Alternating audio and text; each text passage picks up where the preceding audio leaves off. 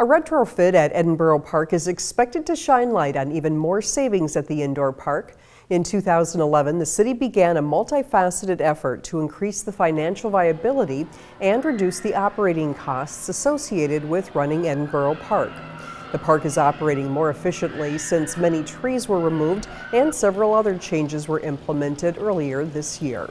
Now, the 1,000 watt light fixtures throughout the park will be replaced with cost effective LED technology.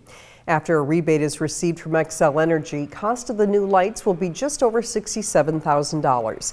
However, the annual cost savings from the more efficient lights will be nearly $49,000. In just two years, the lights will pay for themselves.